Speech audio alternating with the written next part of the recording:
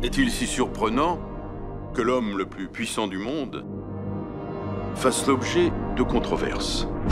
Nous, habitants de la planète Terre, cherchons un sauveur. Il s'agit d'un être extraterrestre. Dont l'existence même remet en cause l'ordre de nos priorités dans l'univers.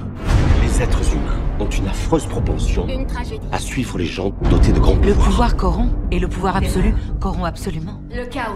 C'est peut-être juste un gars plein de bonnes intentions. On ne la fait pas à nous. hein. Les démons ne viennent pas d'un enfer souterrain. Ils ont apporté leur guerre ici. Non, ils viennent du ciel. Les gens sont tellement obnubilés par ce qu'il peut faire que personne ne demande ce qu'il devrait faire.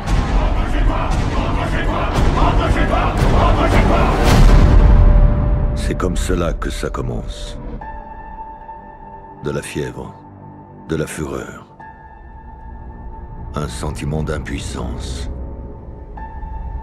qui rend les hommes bien cruels.